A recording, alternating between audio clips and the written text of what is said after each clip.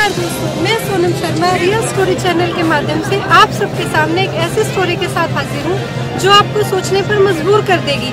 एक ऐसा संत जो पिछले पाँच साल से जेल में है और उनके अनुयायी सड़कों पर और लगातार ये संख्या साल दर साल बढ़ती जा रही है। सोचने की बात तो ये है कि चाहे किलकिलाती धूप हो या कड़कड़ाती सर्दी, इन लोगों की आस्था साल दर साल बढ़ती जा रही है। आखिर क्या कारण है?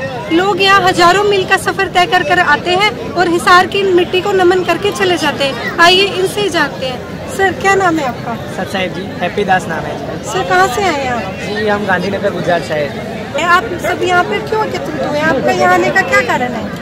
जी जैसे कि सब दुनिया के लोग तीर्थ वगैरह तीर्थ धाम पर जाते हैं कोई कोई गंगा स्नान करने हरिद्वार जाता है कोई कोई जगन्नाथपुरी जाता है कोई कोई पैदल पैदल यात्रा करने केदारनाथ जाता है। वैसे ही हमारा ये तीर्थ धाम है हिसार। इसलिए हम यहाँ पे हमारे जो गुरुदेव है संत रामपाल जी महाराज उनके दर्शनार्थ आए तो क्या आपको यहाँ पे संत रामपाल जी के दर्शन होंगे? जी संत रामपाल जी के दर्शन तो हमें उनके अनुयायियों को पल पल होते हैं। लेकिन हमारे गुरु जी बताते हैं कि संत मिलन को चाहिए तजमाया अभिमान जो जो कदम आगे रखे सौ सौ यज्ञ समान। संतों की भाषा में जो संत को मिलने चलते हैं उसका भी बहुत बड़ा एक पुण्य गिनाया है।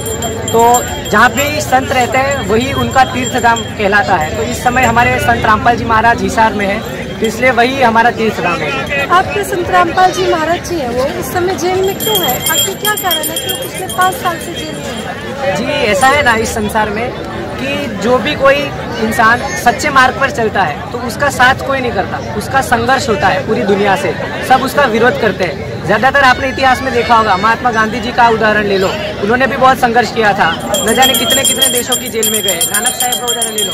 वो भी कितनी कितनी बार जेल में गए। जब 600 साल पहले कबीर साहब आए थे उन्होंने एक उदाहरण दिया था। उन्होंने सभी धर्मों को एक प्रश्न किया था, एक प्रश्न चिन्ह रखा था कि क्या आपके धर्म में कितना पाखंडवाद है और कितना सच है? क्या आपकी साधना शास्त्र अनुसार है? तो वही सेम कार्य हमारे गुरुजी, संत रामपाल जी महाराज कर रहे हैं। जिस कारण से सभी जो समाज है, उनका विरोध कर रहे हैं और आज उनको ये संघर्ष करना पड़ रहा है। तो संत रामपाल जी महाराज जी के ऊपर जो भी केस लगाए गए हैं, जिस कारण वो आज जेल में है, क्या वो सब झूठ है? उनके बारे में आप क्या कहना चाहेंगे? जी, बिल्कुल झूठ है, क्योंकि संत रामपाल जी महाराज जो भक्ति बताते हैं, वो प्रमाणिक बताते हैं, शास्त्र के अनुसार बताते हैं। आज तक ऐसा कोई भी संत नहीं हुआ जो शास्त्रों को खोल के दिखाता है। आप कहीं जाते हो कहीं शिव पुराण की कथा होती है। तो कोई भी कथावाचक उस उस कथा को, पुराणों को खोल के नहीं दिखाता। जबकि हमारे गुरु जी है, वो चार वेद, अठारह पुराण, छह शास्त्र, गीता, पुराण, बाइबल सबको खोल खोल के लाइन टू लाइन पढ़ाते हैं और सबको दिखाते हैं बड़े प्रोजेक्ट पर के। प्रोजेक्टर पे कि देख लो, ये प्रमाण है।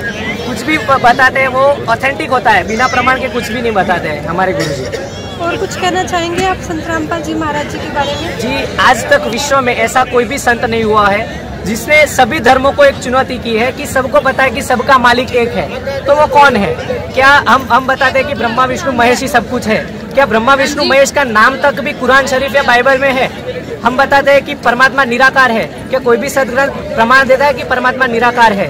जबकि सभी सदग्रंथ प्रमाण देते हैं कि कबीर साहब भगवान है। उस पूर्ण परमात्मा का नाम कबीर साहब है। बाइबल भी प्रमाण देती है, गुरु ग्रंथ साहिब भी प्रमाण देती है, कुरान शरीफ भी प्रमाण देती है, चारों के चार वेद प्रमाण देते हैं। गीता अड्डे आठ का श्लोक नंबर नौ भी प्रमाण देता है कि उस अल्लाह अकबर, उस पूर्ण परमात्मा का नाम कबीर देव है, जो कि साकार रूप में अपने निज घर सतलोक में रहता है। इनकी आस्था का अंदाज़ा तो इस प्रकार लगाया जा सकता है कि जिस जेल में संत रामपाल जी महाराज जी रहते हैं, उस जेल को इन्होंने जेल धाम बना रखा है और ये वहाँ जाकर प्रणाम करते हैं। नमस्कार।